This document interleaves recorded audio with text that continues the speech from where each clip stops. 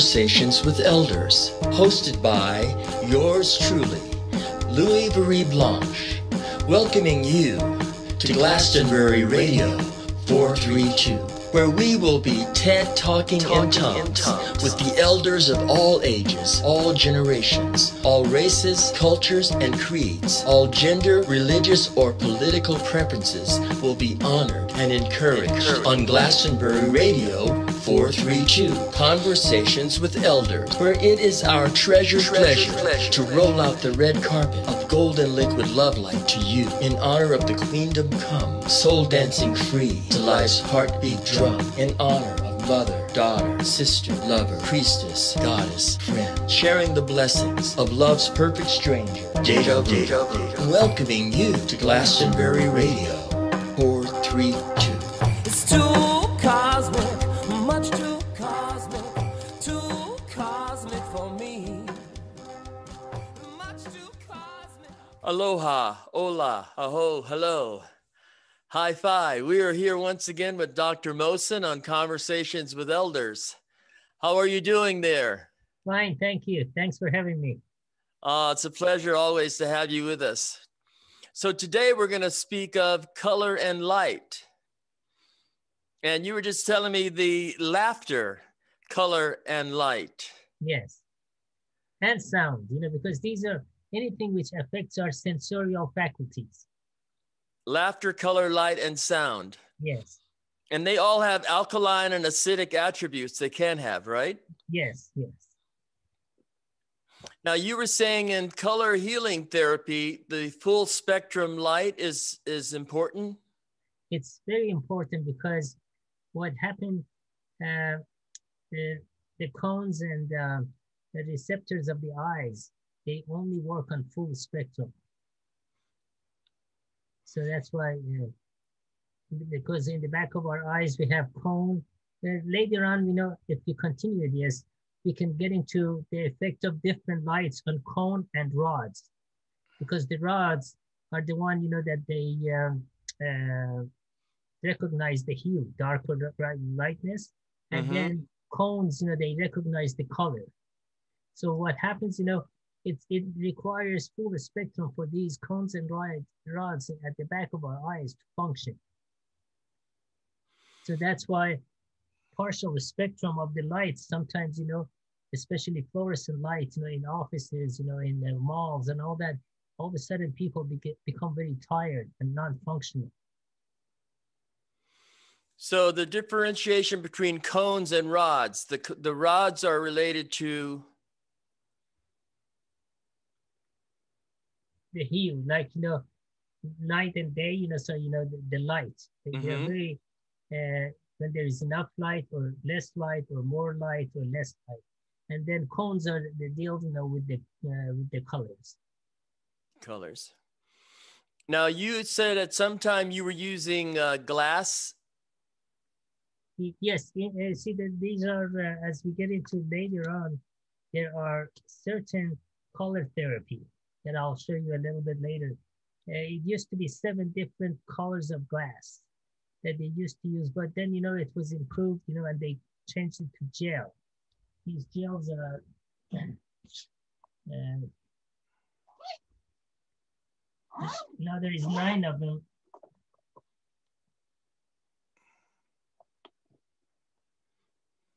So for example, you notice these are the gels, you know, these are very thin gels, so it doesn't have much diffraction.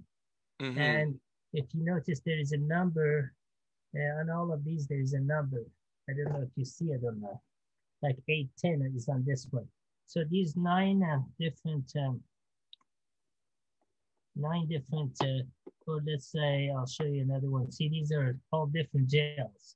So combination of these gels sometimes two, sometimes three, sometimes four. It give, gives that healing light for different um, different symptoms. And I'll show you the list, the name and list of all those scientists and books that they have worked on this past 14, 1500 years. Mm-hmm. So the aquamarine color and purple, do they have any special significance in, in your understanding of color? It's called equilibrium colors. Uh, we can get into details of that later, which is basically seafoam green and also magenta. These two, as we going to look at some of the lights and the charts and all that, we'll explain it then because okay. they have something to look at. Okay. But these are basically the gels. And then there is a good book, you know, it's this one here. It was written by Dinshah in early 1900. You know, so it's called um, uh, Let There Be Light. Let There Be Light, and that is by whom? By, let's see here. Darius Dinshah. You see at the bottom? Mm-hmm. Yeah. He worked a lot on this. And uh, what happened is um, before used to be, these gels used to be like glasses like this. This is the, old style. You see, like for example. Mm-hmm.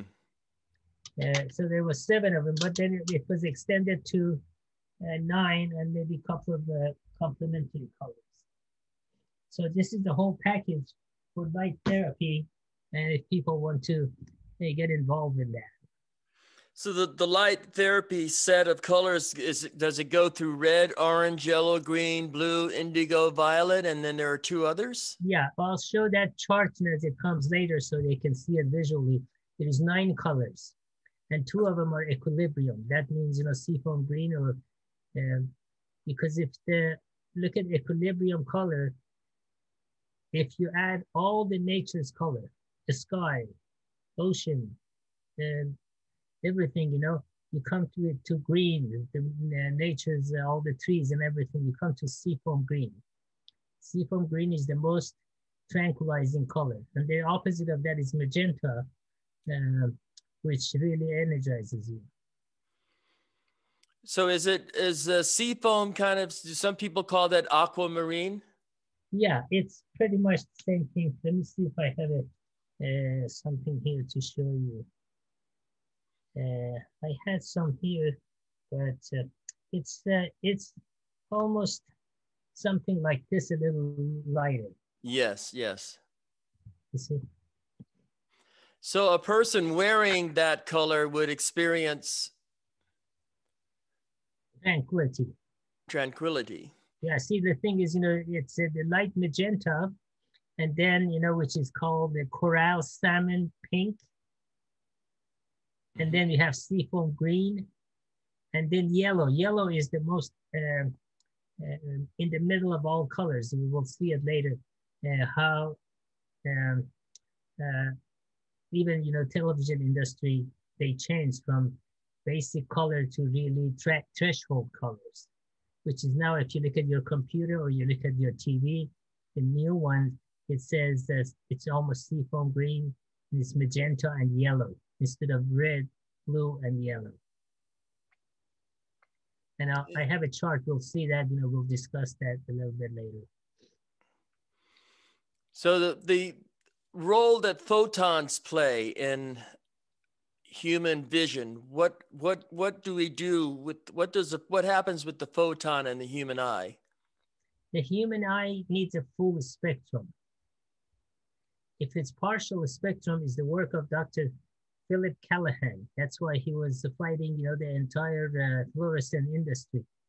So finally, fluorescent industry, they changed it to full spectrum instead of partial spectrum. But however, it's like vibration and oscillation. We need the sunlight, not a full spectrum from a light, mechanical. I'll show that later. Uh, so there's a difference between all of that. Well, where should we begin? And you can kind of lead us through like this uh, as a kind of a storytelling adventure on color and light. Now we start with a few laughters and jokes. That's always good. slowly, I mean, all my um, workshop I used to give. The first half an hour of it was all laughter to get people in a better mood, you know, to, so when they are in better mood, they are more willing to listen. so that's how we start here. So we have naturopathic color and light. just like food, which we have medicine, which we have naturopathic and uh, green medicine versus pharmaceutical or synthetic medicine, color and light, you can think, of, think about it very similar and very analogous to naturopathic uh, treatments. Now, you know, there's some discrepancies they say about the the, the colors that are associated with the uh, the chakra system. Yes. And even some discrepancy about the root chakra always gets associated with red. Yes. You, I, oh, go ahead. Do you think that that's a valid way of uh, a valid association? The root chakra is related to red? Okay. I, I try to explain this to you. I totally reject that whole assumption because in order for this chakra, let's say heart, have to be green, right? If it's green, it has to be very constant, what? Wavelength of the wavelength, wavelength of green, correct? Mm-hmm.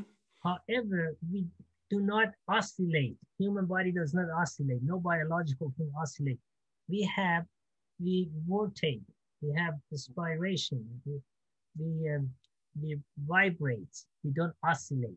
If I'm vibrating, I'm uh, subject to rotation, rotation, and peristalsis. That means this thing that coming here is not a sine wave to be have a constant wavelength.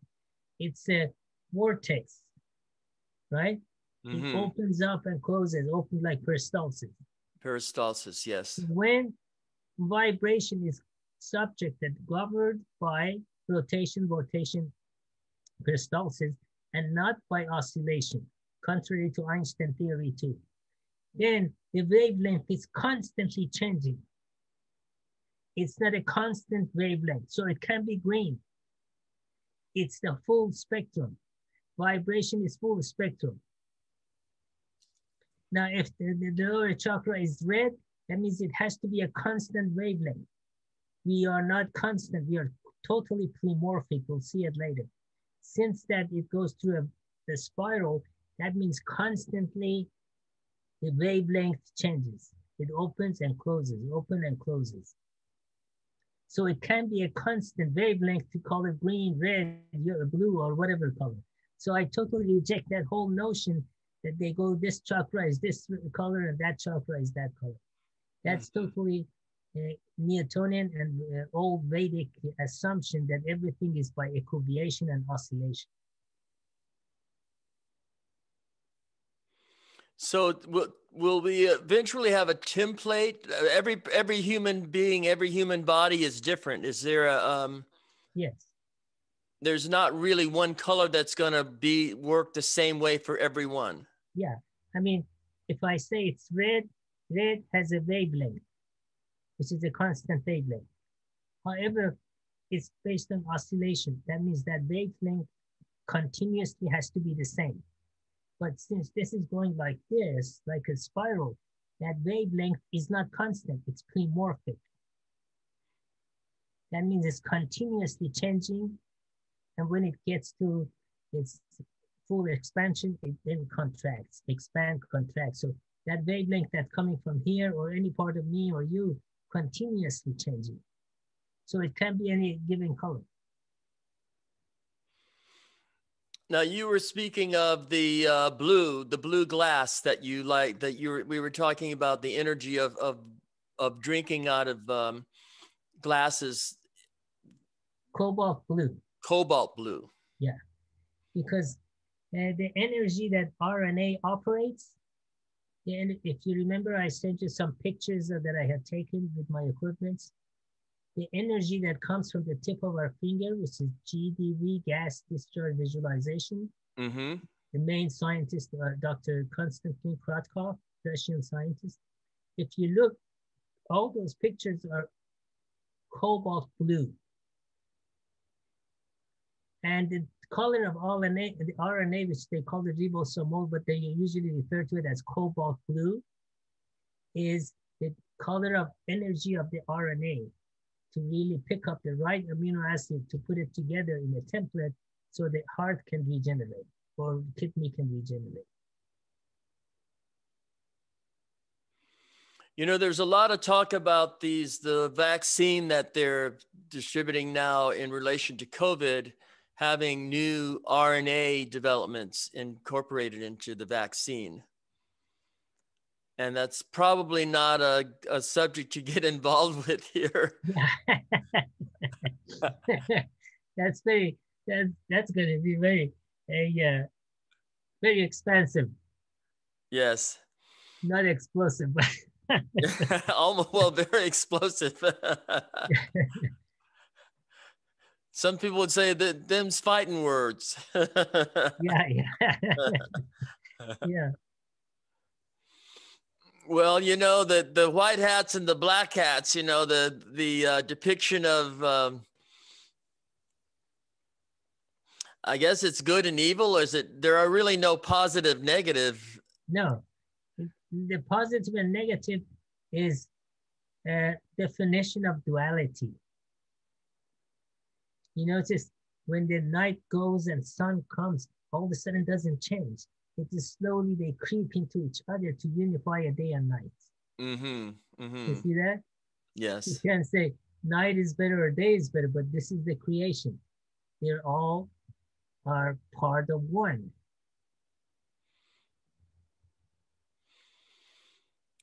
So this, this process of understanding color and you you apply it to the clothes you wear the color of the rooms yeah. the walls you you you're surrounded with yeah.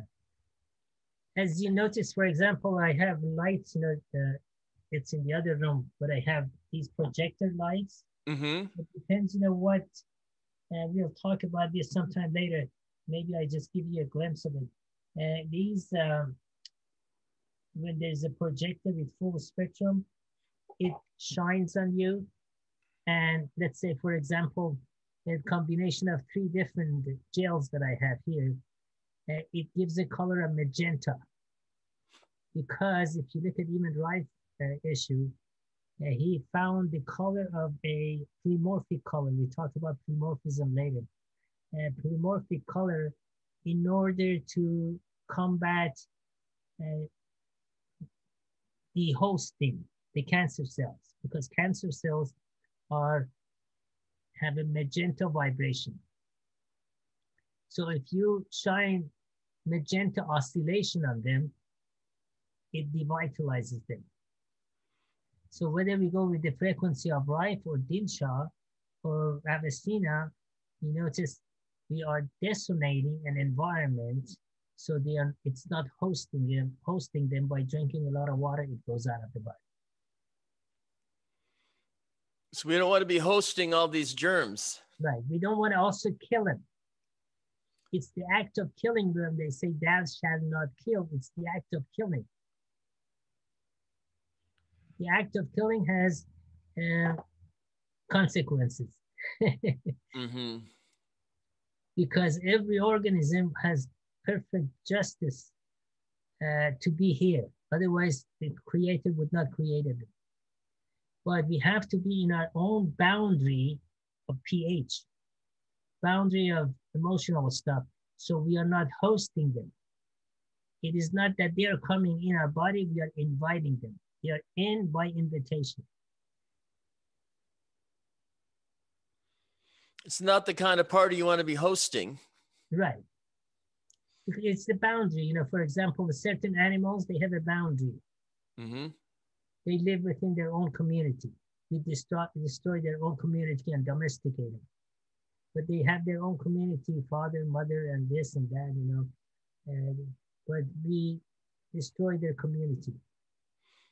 So the same thing here. I have a boundary in my body. In a certain friendly organism are invited and certain unfriendly organism are not invited. For example, you don't want to be next to a snake because it's by nature it may sting you. So how do you explain the alkalinity and acidity of color? Well, one of the issue of when a color becomes acidic when it has impurity. That's why Gray is impurity. Of, uh, define the three components of color. Color is uh, uh, defined by its hue, what part of the spectrum it is, and mm. then by light, how much light it has in it, because all the color changes, you know, when you add light or take light, the rules. When addition and subtraction, uh, we'll show that in a few next slide. And then what happens, purity of the color. The purity of the, any color is the amount of gray is in that color. The amount so gray, of gray. Yeah, gray makes the color acidic. Now that's why you notice very expensive cars or very expensive textiles. The more they extract gray out of a color, that color becomes more pure. I mean, that's why Porsche color, you know, uh, the red uh, fire engine, red Porsche, you know, is $25,000 worth of color. versus, versus my Pinto is over maybe 500 bucks. it's gray. That's why gray color is the cheapest. The same thing with the textile. The more, the more you, so the purity of the color is determined by the amount of gray it has in it. That's why you notice sometimes, you know, when things are gray, people get depressed. So mm-hmm. if I mm-hmm. want to suppress this person, I really paint his house in gray. no, my house, no, I have to send it to you. I have put these healing colors on it. For example, I have coral salmon with seafoam green and yellow, those three colors. So average person, when they see, they think I'm out of my mind. well, I noticed some of the drawings you've shared with your architectural solar architecture designs that I I see those colors in there. Yeah.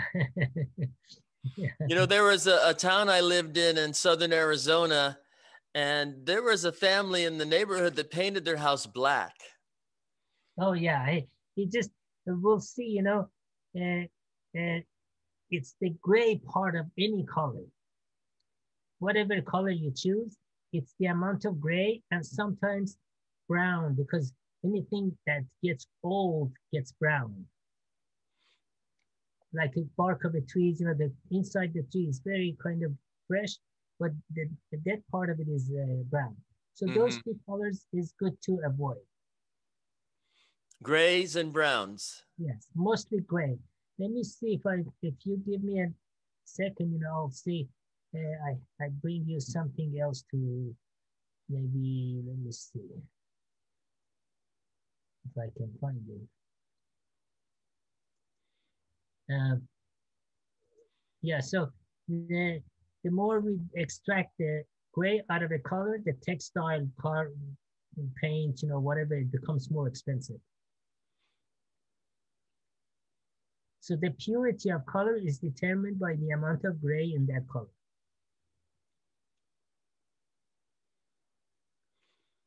Now, muscle testing with color, applied kinesiology. Yeah. Affecting the strength of the human body. Yes. Do you find that's a valid method? Yeah, it, it, it's the, it, the, there is a few things we have to consider. Now, when you're testing, the person, you know, cannot have electronic stuff or cell phone on him, you know, or the same thing with the test.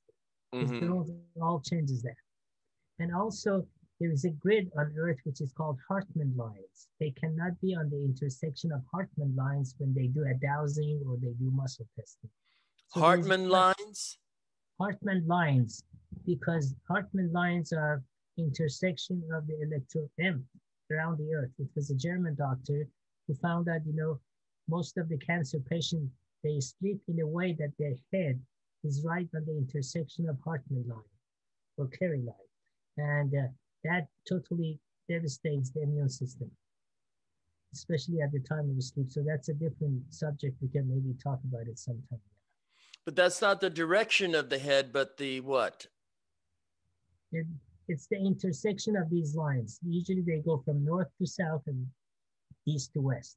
Mm-hmm. And since we have created so much electromagnetic uh, field, M, which is oscillatory field, it has created these lines, which is not very helpful. Versus the grid lines, you know, uh, um, energy lines of the earth that the Chinese were, were giving a lot of respect. That's why they put their trees, they planted it on energy lines of the earth. Are those ley lines? Ley lines, yes. Mm-hmm. Well, you know, I have had a few friends that were blind. I worked with a couple of people that were blind from birth, and others that uh, something happened after they had experienced having eyesight. Then they they had something happen and they became blind. But I I had a friend that was blind from birth, and I asked him. I said, "Do you dream in color?" And he said yes but in my mind i was wondering how would he know yeah well i mean to just is uh, the eye of the mind seeing those colors yeah eye of the heart eye of the mind eye, eye of the soul which is much stronger than physical eye mm-hmm. you know since you brought that subject if the um, nerves to the eye is not totally disconnected there are there have been people who recovered their uh, they recovered their sight. That's why I mentioned to papimi.gr. They can refer to that site. What is that again? P-A-P-I-M-I. P-A-T-I-M-I. No. Panos. P like uh, Pedro, A like Apple, P like Pedro, I like indigo, M like Mary, I like indigo. Dot gr, garden and Randy. And P A P I M I. Yes. And that website is is um,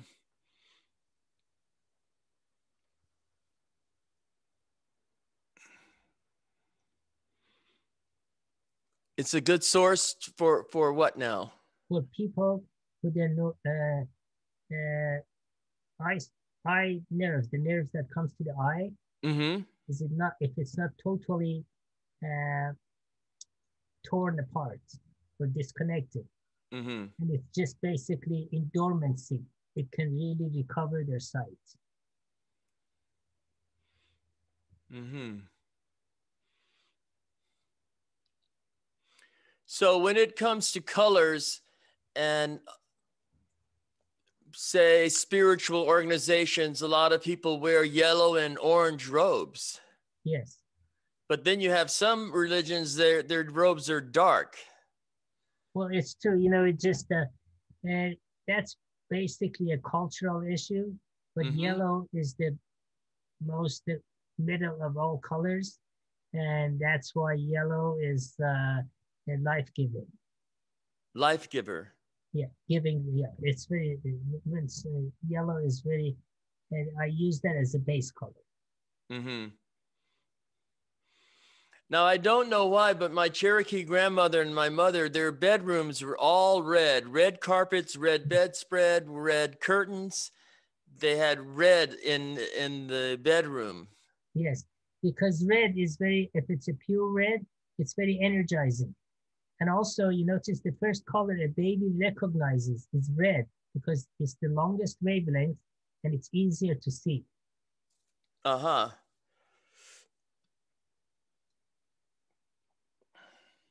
You know, I was trying to bring another PowerPoint to get a slide out of it, but since we are the screen sharing, it doesn't let me do it. So um, anyway.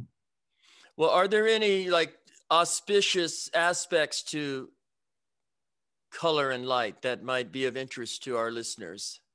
Okay, let me just go over some of this, you know, and then the, I think I have something that the difference between color and light. When we mention it, you can recognize it's not really rocket fuel or anything, you know, it's not complicated. So okay. you know, if you go through these series, you know, um, this is say by morning or hello. and then, you know, we get into alkaline light and color alchemy. So you see these colors, these the colors of these fruits, since they are fresh, is very pure. You see that? You don't detect any gray in any of them. They're beautiful. Yeah, yeah. so that first one, is that a watermelon? Yeah, this one is the uh, or red grapefruit. Pineapple. Not pineapple, the grapefruit. Yeah. Grapefruit. These are all citrus, and this is blood uh, orange. You know, blood so orange, yeah. And these are very alkalizing because if they are fresh, outside is very acidic, but they when they go inside the body, they become very alkaline ash because they, they are pleomorphic. Outside they're very acidic. When it goes in the body, they become very highly alkaline. Uh, but if it's not fresh, it doesn't do that. And the seeds of these uh, are very cancer fighting because the seed is laetrile or um, same as apricot seed or cyanide. So uh, it's very beneficial to chew the seeds when we eat these foods. It is beneficial. Yeah, because the seeds of citrus fruits is very similar to apricot seed. And uh-huh. chemotherapy is laetrile, but it's synthetic. And cyanide is the most deadly poison. The tip of the little cyanide, you can kill a cat or a human or whatever. But this cyanide, since it's biological and pleomorphic, you can eat as much as you can, chew all the seeds, and it doesn't hurt you. Actually, it has, it's very beneficial. It prevents cancer. It's like, you know, natural chemotherapy. Mm-hmm. Well, that red grapefruit, orange, yeah. blood orange, and the lime, those colors are so beautiful. I mean, they're yeah, luscious. Yeah, you see that? I mean, it just uh, those colors, just looking at these colors, it kind of gives you a little alkaline feeling. Yeah, I mean, it's truly appetizing. yeah. Reminds then, me of uh, some of the shirts you wear. oh, yeah. I'm trying to create a little alkalinity here. oh yeah. so anyway, here's the next joke. You know. and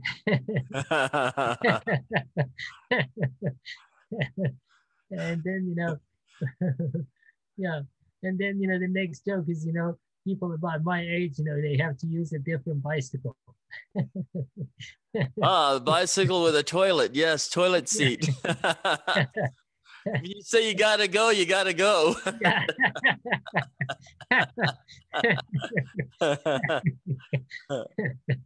And then you know, if you've ever been golfing in the golf course, and all of a sudden one of the friendly bears, you know, they show up.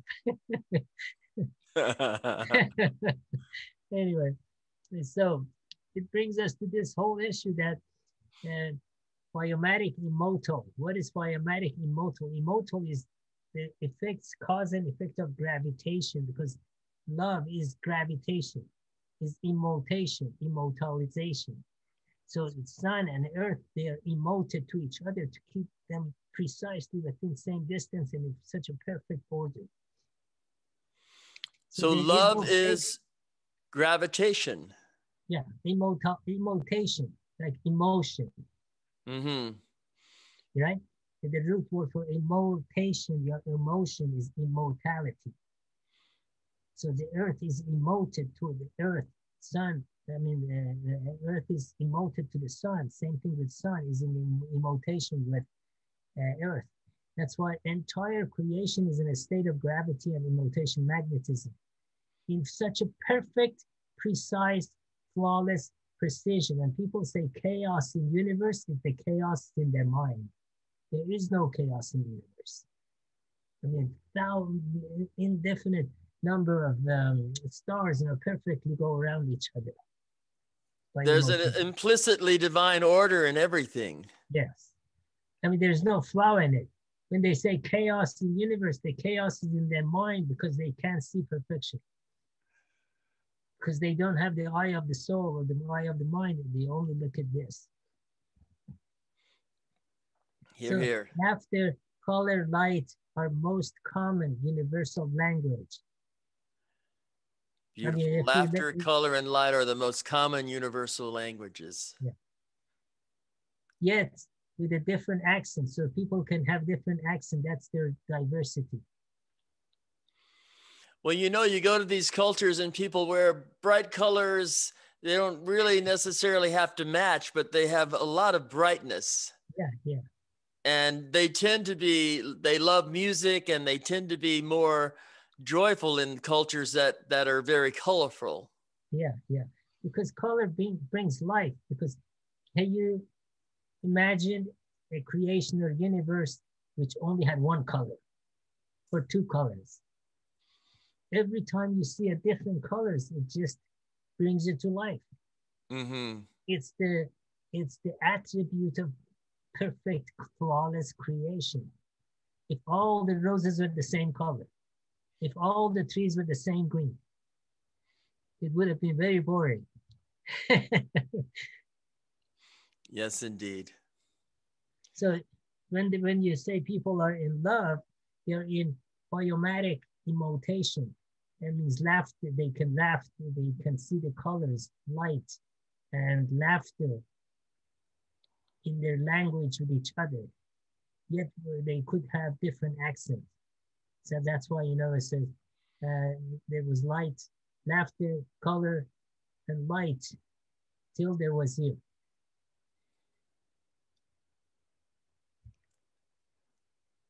Say that again now for me, please. Please. Laughter, color, and light are most common universal language. Yes. Yes, with different accents. And the, the, the, the, this the man you know that you see walking here, telling his uh, his uh, lover or beloved, till there was you. Until Like, there was is you. So when you came, you know, all of a sudden laughter and color and everything, I could see colors you see, this picture is like put a lot of colors into it. yes, beautiful. Yeah. Yes. So we just, you know, as we get a little bit of, and then uh, you look at the universe, look at this. And where is the chaos? If there's minute, micro, micro chaos in this, all of this, you know, will collide with each other, but they're flowing and, and going in unified field. This is unified field. There is no chaos in it. now, this image is from uh, what telescope do you know? Is it uh, um, Hubble. Hubble? It's from the Hubble Yeah. telescope. Yeah. Yes. And there is a telescope X, you know, there is a bunch of them, you know, but I think Hubble probably is the, yeah, yeah. Now, all along the history, there have been a lot of people that they have worked on color healing and light and sound and all that stuff, you know, so um,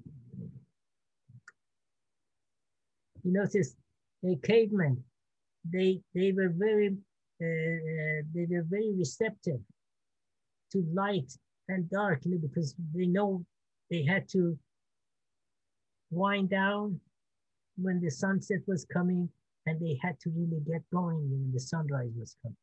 So they were very responsive to light. Now, those circadian rhythms. And Yeah. then, If people lived in the darkness of a cave all the time and they never got out into the light, it would have a detrimental effect on their mentality, Yeah. wouldn't it? Because what happens, you know, one of the issues that makes the pineal gland to go from producing melatonin that puts you to sleep, all of a sudden switches to serotonin and dopamine that gets you up and going.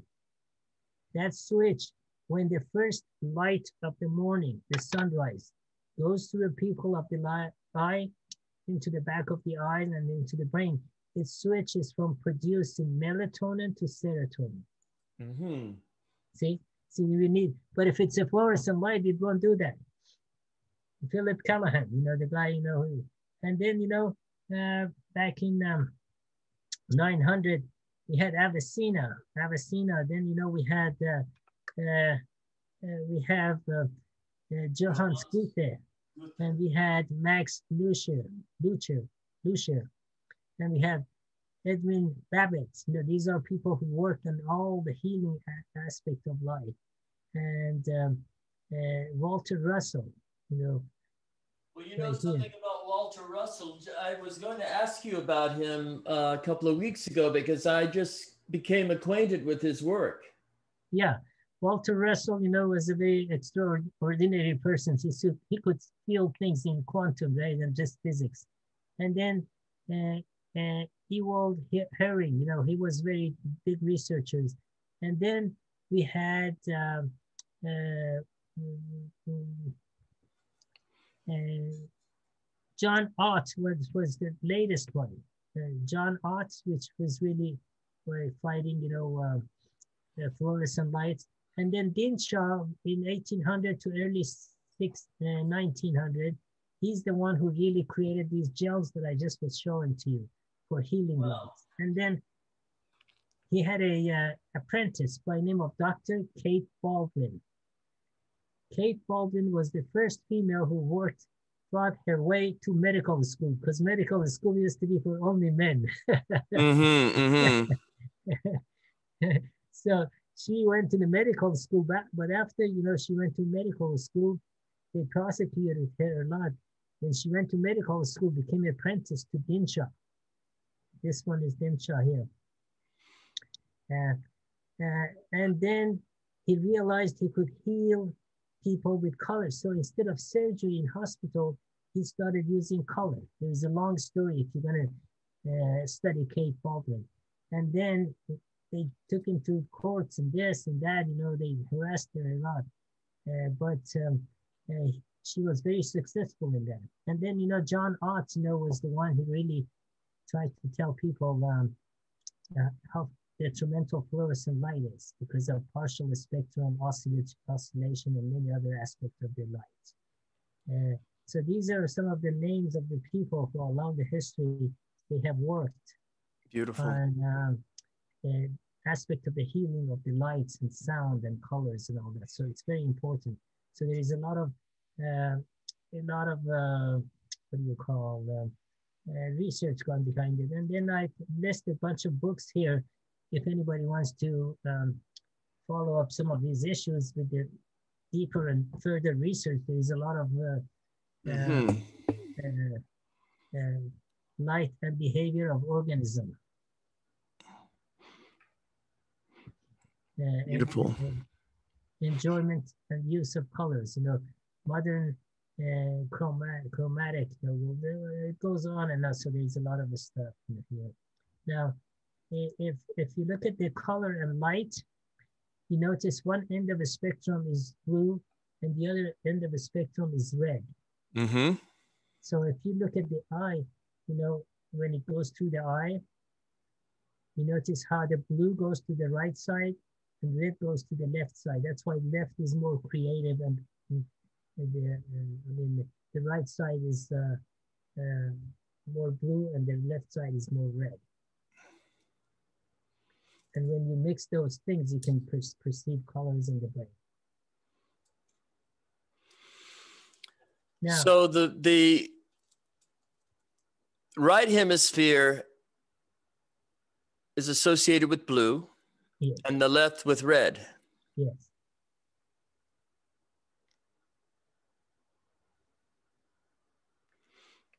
So and that's, the, how, that's how the cones of the eyes, they separate the lights and send some here and some there. Mm-hmm. That's like classifying the colors, organizing, you know, for uh, uh recalling it. Now there are other charts, you know, how the brain uh, stores and how uh, the brain recalls, that's a whole different issue, you know, but uh, uh, because everything that is stored in the brain is in terms of pulse. And then we recall those pulses and then we translate it to color or imagine that color, imagine the shape, the form and all that. Because in the brain is all stored like a, hard disk. It's stored like a pulse. And then we recall those pulses and visualize the color. You know, we were I was thinking when you were talking earlier, my uh, daughter, all my children were were home births. Yes, uh, yes. My my daughter was born in a hospital, but we had to go to the hospital. But there, my the mother of my children did not want to receive any um, painkillers, so she had a natural birth oh, in the hospital, and my daughter was premature, and yes. she was a bit jaundiced when she was born. Yes, and she was very uh, she was premature and couldn't really nurse so we were pumping the breast milk and i was gavaging her as a little baby i was feeding her through um, this flexible straw yes and but she was jaundiced and so when i would have the baby in my arms i would go to the window and let sunlight caress her yeah, yeah, yeah. And the people in the hospital, though, they said, no, no, no, we have lights to do that. Yeah, yeah, yeah. And I think, don't they use blue lights? Well, they use, but again, you know, all those lights are oscillation versus it's uh, light from the sun is vibration. Yes. So it's that light from the sun that when, uh, when cholesterol is under your skin converts it to vitamin D. Well, I had to um, explain what I was doing when I was taking the baby into the sunlight. Yes. You know what happens? Some of those mothers that they took a drug called DES to really painkiller during pregnancy, mm-hmm. and they didn't sense the joy of the pain of delivering a kid. Yeah. Yes. Those kids later on could not have children. And they found out it was the effect of DES. It was that uh, uh, drug that the painkiller they used to give it to. Mm-hmm. So now they have stopped it because all of a sudden the, the next generation, so most of those people could not have kids. Mm-hmm. Well, go go ahead and move forward with your story of color and light here. We are um... now. If you look at if you look at, for example, these are additive. We call it additive colors or lights. Mm-hmm. You know, if you look at when you take the very primary uh, or secondary lights, let's say green, red, and blue, and you add them together, by addition, they all of a sudden become white. Mm-hmm. But if you take the color, which is congelation and coagulation of light, then when you add them together, it becomes subtracted. It subtracts light from that uh, they call it subtracted because you have subtracted light from those colors. So it becomes black. You add three paints, to, uh, primary paint in colors together as if it's a paint, it becomes black. But if you add the same, if it's in terms of light together, it becomes white. So God has given this property to this uh, uh, rotation. Yes. You know, so now, but what happened if when they looked at the spectrum of the light, you see there is a threshold between uh, red, uh, uh, red, blue, and green. Now, the threshold of these colors, when they are trying to transform and transnaturize to the next color, when they go through through their polymorphism, that means they change their vibration a little bit.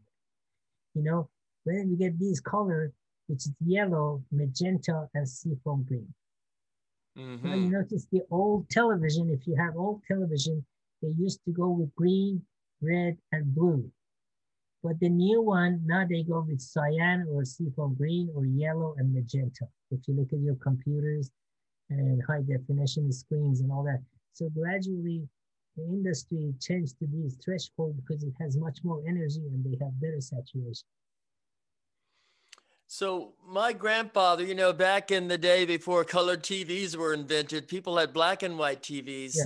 Yeah. and they would put a color uh, covering over the screen. Yes, it was probably a filter. But what was the idea behind that? I mean, they weren't they weren't uh, getting Technicolor or living color out of their TV. There was just a, a filter that you were looking through. Yeah most probably it gave him a little bit more clarity. Like, like you know, I have, have I never, I've never had a TV to know what's uh, what's on TV. well, you know, the the televisions were very big, big boxes. Yeah. and and there was a uh, a photon gun in the TV set. Yeah, it was a tube that used to shoot. Yeah at the cathode ray tube, right? Yes, yes. So now the televisions are plasma screens. Yes, because what happens in, a, and if you look at the bottom of all of them, they have three colors, and it's all uh, this seafoam green or cyan and yellow and magenta. Mm-hmm. Mm-hmm. So we, we talk about, so now when the colors are pure, when somebody's emotions are very pure, they have good vibration, they have good color. You know, their vibe, color is the vibration. It's not just like red or green or blue or something. It's the beauty is the true base of vibration. And the more pure that vibration, the more beautiful. You see, for example, an old person, let's say 100 years old, wrinkles all over her face and everything. And all of a sudden, without she or he talks about anything, you're next to her, all of a sudden you just feel certain vibration. It Yes. lifts you up. Yes. And it could be a really old, old man, you know, I mean, full of wrinkles all over her face and everything, you know, but the vibration. So the beauty is the true, The truth face. pure base of vibration. Now, if my vibration is terrible, you can't be in the same room with me. yes. Yeah. So if you look at the colors and all that, you know, it's just, you know, they have that kind of, uh, they have that kind of, um, um,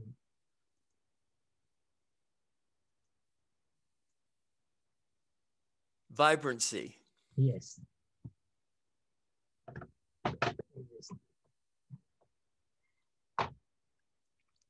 Well, in our last few minutes here, what shall you um, share with our listening audience in regards to this journey into color and light? We can continue this next time around. Well, we are not getting technical, but the colors are very polymorphic, and also it's a signature. A signature is defined and assist that the signature assists and directs the course of our longing to resonate with the quantum reality. The energy for long, this longing is love. So, a signature assists and directs the course of our longing to resonate with Yeah. quantum reality. Yeah, but then we have to realize everything is polymorphic. There is no constant morph. Everything is polymorphic. For example, I give you an example. A Mm, morning glory, if you look at it, the first day is kind of cobalt blue or it's uh, violet blue or this color. But the next day, after it gets a lot of sun, the same becomes magenta. So that's why, you know, if you look at the morning glory, it's a good, example of everything goes through polymorphism. The very first day, those flowers are violet. The next day, they become magenta. So they go through polymorphism. mhm. So this polymorphic is attribute of all things. Now, how can the color ever ignore the light when it continuously creates and polymorphiates it with ever repeat, with never repeating any one hue twice?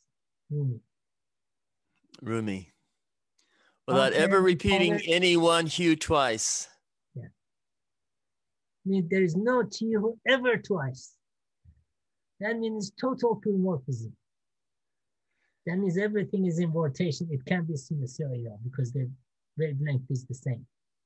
So how can the color ever ignore the light when it continuously creates and polymorphiates it while never repeating any one hue twice? Whoever the painter was of this universe was incredible, huh? No, I mean, beyond, beyond beyond, beyond the, what do you call beyond? Now, this polarity and resonation. You see that? They're emoted Yes. toward each other. the male is asking the female for a date.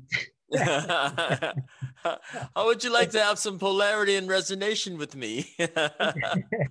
So then, you know, that brings us to the whole issue of the ideological issue that everything in uh, creation is field and flow, not action and reaction. Action and reaction has damage.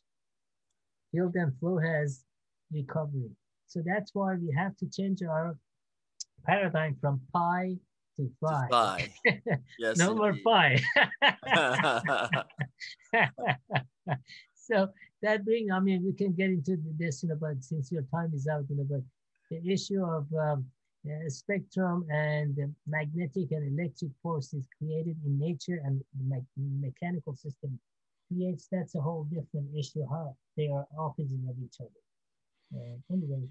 So we can, you know, the color wheel, there's a name uh, that when you go to a print shop, there's a whole variety of colors that you can choose from, and they have specific nanowebbers, right?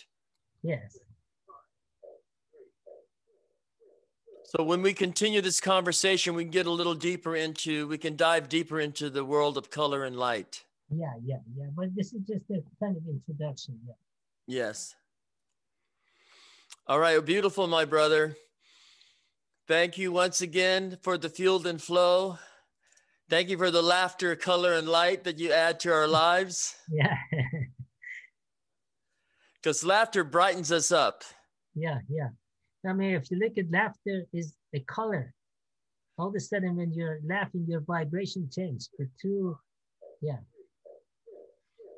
If you were to use the GDV while laughing, you would see that you would notice a yeah, difference. Yeah, yeah. You just see it in the hand and everything. Yeah.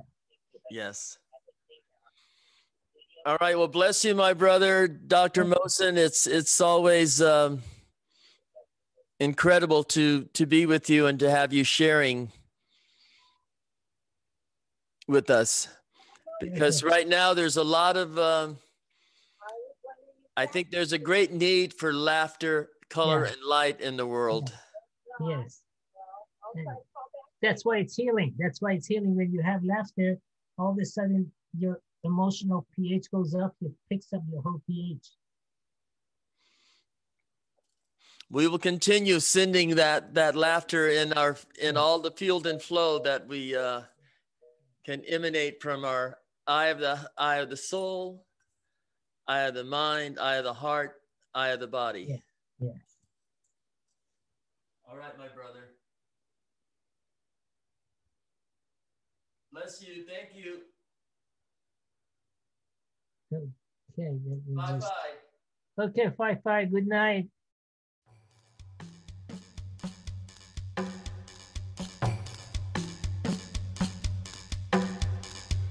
Well, that's it for here and now. But until we meet again, this has been Louis-Virie Blanche thanking you for listening to Conversations with Elders on Glastonbury Radio 432. Bless you. Quantum physics and the kitchen sink. The energy that follows the thoughts you think. Quantum physics and the cosmic sea. Laws of nature too heavy for me. It's too cosmic, much too